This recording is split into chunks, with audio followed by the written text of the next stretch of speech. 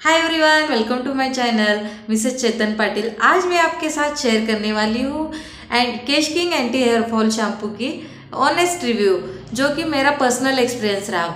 उससे पहले एक छोटी सी रिक्वेस्ट है आपसे, अगर आप मेरे चैनल पे नए हो तो चैनल को सब्सक्राइब ज़रूर कीजिएगा। वीडियो एंड तक ज़रूर देखिएगा स्किप मत कीजिए।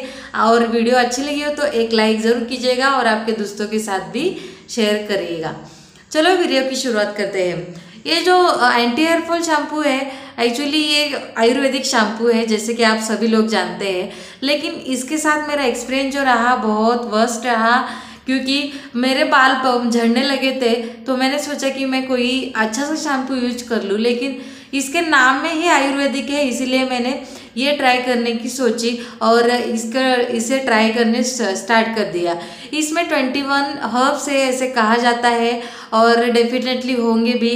मैं I I am not sure about that actually मैंने जब ये शैम्पू स्टार्ट किया यूज़ करने, तब मैं जब भी शैम्पू करती थी, तब मेरे बाल जो है बंच में टूटने लगे और मेरा जो हेयरफॉल है, बढ़ता ही जा रहा था। जब फ़र्स्ट टाइम मैंने यूज़ किया, तब मेरा, जो मेरे बाल तीस, चालीस, पचास के काउंटिंग में झड़ते थे आफ्टर शैम्पू वो ये शैम्पू यूज़ करने के बाद बंच में टूटने लगे, जाने कितने बाल होंगे उसमें, मैं काउंट भी नहीं कर सकती थी।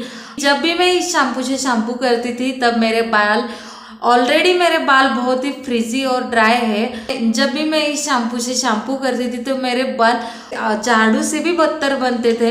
गाइज़ ऐसा नहीं है कि मुझ पे सूट नहीं किया मतलब आप पे भी सूट नहीं करेगा। हर किसी के साथ अलग अलग एक्सपीरियंस रहता है। देखिए, अगर आपको पहली बार में ये शैम्पू सूट नहीं हुआ तो आप इसे ज़रूर स्किप कीजिएगा। ऐसा नहीं है कि पहली बार में अगर आपको सूट नहीं किया है तो अगली बार आपको ज़रूर सूट कर जाएगा, ऐसा नहीं है। एक बार, दो बार चेक कीजिएगा। दो, तीन बार में भी आपको ये सूट नहीं किया तो आप ज़रूर इसे स्किप कीजिएगा। मैं बिल्कुल भी इस शैम्पू को किसी को भी रिकमेंड नहीं करूँगी क्योंकि मेरा इस शैम्पू के साथ जो एक्सपीरियंस रहा, बहुत ही वर्स्ट था। इस शैम्पू के यूज़ करने के बाद मेरे बाल इतने झड़ने लगे झड़ने लगे मेरी सिचुएशन जो है वर्स्ट से लेके वर्स्ट हो गई। गाइज़ समझ ही नहीं आ रहा था कि मैं क्या करूँ। और ये शीशी इतनी बड़ी है कि 340 फोर्टी एम ये शीशी है, ये 265 इसका रेट है। मेरे, मैं जब ये शैम्पू मैंने यूज़ करने स्टार्ट किया, तब मेरे साथ मेरे हस्बैंड भी यूज़ करने लगे। और ऐसा हुआ कि उनके बाल कभी भी नहीं झड़ते थे चाहे पानी कितना भी गंदा हो जगह चेंज हो जाए क्लाइमेट चेंज हो चाहे कुछ भी हो जाए उनके बाल बिल्कुल नहीं झड़ते थे लेकिन उनके भी बाल बहुत झड़ना स्टार्ट हो गए। ये शीशी इतनी बड़ी थी कि मैंने सोचा कि हाँ ठीक है चलो एक बार में नहीं हुआ दो बार में नहीं हुआ तीन बार में नहीं हुआ। पूरी शीशी ख़त्म होने तक हम इसे आ, क्या हम इसे इस्तेमाल करके देखेंगे।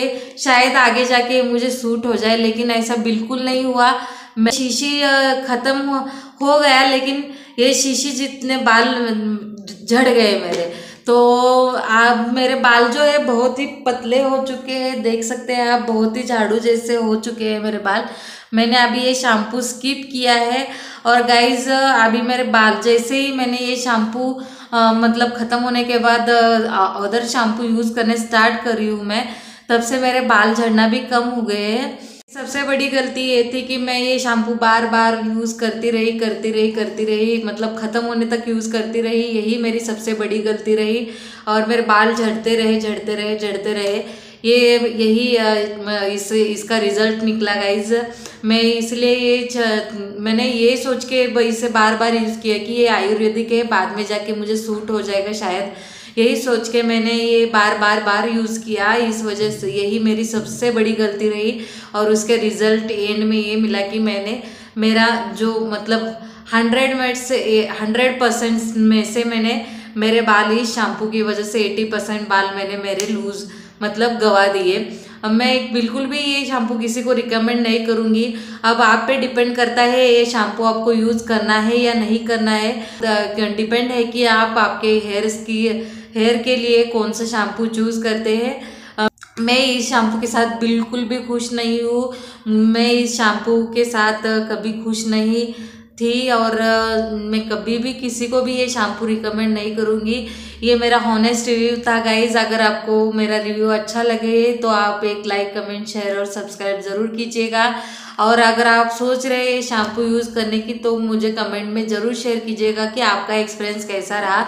मेरे मतलब मेरा मेरा रिव्यू देखने के बाद भी अगर आप ये शैम्पू देख मतलब यूज़ करने की सोच रहे हैं तो आपका एक्सपीरियंस इसके साथ कैसा रहा? रिव्यू में ज़रूर बताइएगा। मैं ज़रूर चेकआउट करना चाहूँगी। अगर आपको वीडियो अच्छी लगी हो तो एक लाइक कमेंट शेयर सब्सक्राइब ज़रूर कीजिएगा। और इसी तरह के वीडियोस के लिए मेरे चैनल के साथ जुड़े रहे।